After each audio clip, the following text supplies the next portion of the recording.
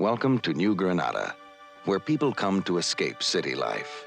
It has safe streets, clean air, good schools.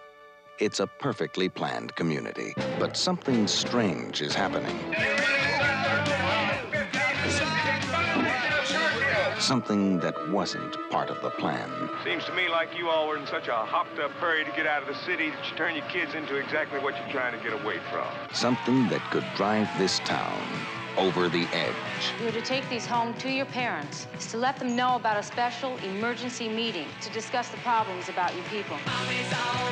Kid who tells on another kid. It's a dead kid.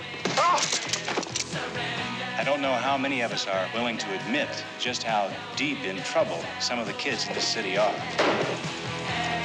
Tension is rising. You people talk about these kids like they're a bunch of animals.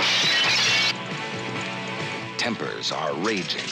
Your son and some of his friends are part of this. My son and his friends are part of this town. Time is running out.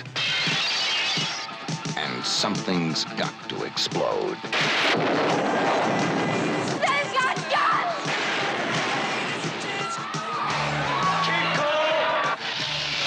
I can assure you everything is under control.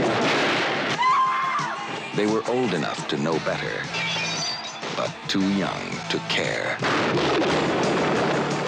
And now this town is over the edge.